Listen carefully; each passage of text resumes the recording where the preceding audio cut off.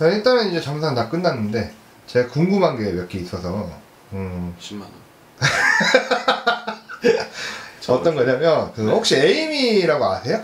에이미? 그 요즘 그 논란 있으신 분. 네, 제가 한때 좀 좋아했던 연예인 연예 걔 연예인은 아닌 일 연, 연반무 연예인 반 일반인 반. 좀, 예, 근데 네. 그때 당시에는 엄청 귀엽게 나와서 그 악녀 일기. 예, 어, 어, 나도 그때 팬이었어. 엄청. 귀엽게 걸크러쉬에다가 나와서. 네. 뭐, 차도 막 아우디에. 했는데 이제 좀 논란이 돼서 다시 그때는 안타까워 죽겠어. 예, 외국 갔다가 다시 한국에 왔는데 또 근데 이번에 터졌잖아. 예, 이번에 또 터졌단 말이에요. 어. 근데 복귀가 가능할 건지 내가 궁금해서 이 사주가 좀 어때요? 신점을 봤을 때.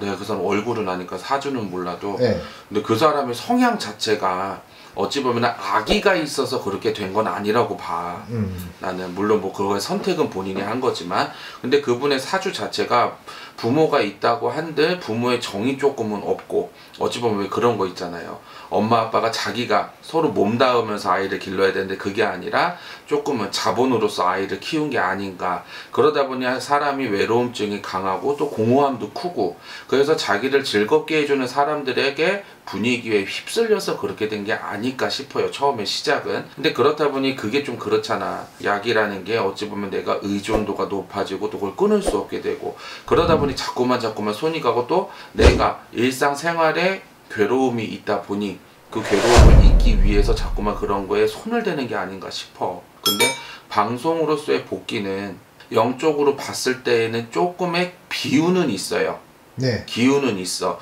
근데 본인이 거기에 발을 못 내밀 것 같아. 자기 자신이. 네. 그렇기 때문에 조금은 힘들지 않을까 싶어요. 근데 또 웃긴 게 매스컴을 타는 것도 방송이라 치면은 매스컴에는 많이 나올 것 같아. 뭐 이 사람을 통해서 뭐 누구를 잡았다. 이 사람을 통해서 뭐 또 됐다. 이 사람이 뭐 구속이 됐다. 뭐가 됐다. 뭐가 됐다. 그러한 관록은 계속 있을 것 같아. 어떡하겠어. 법적으로 계속 그렇게 왈가불가 이름 석자는 나올 것 같아요. 아무튼 막 복귀라든지 이런 건 좀 불가능하다. 복귀는 조금 힘들 것 같아. 아, 복귀는. 아까 말했잖아. 복귀의 기운은 있으나 본인이 못 내밀 것 같아. 약은 계속 할까요? 근데 그거는 아까 그랬잖아. 계속 이름 나올 일은 있다고. 진짜 본인이 굳세게 마음 먹고 개가천선 하지 않는 이상 조금 조금씩 다른 형태로라도 자꾸만 그런 걸 찾지 않을까 싶어.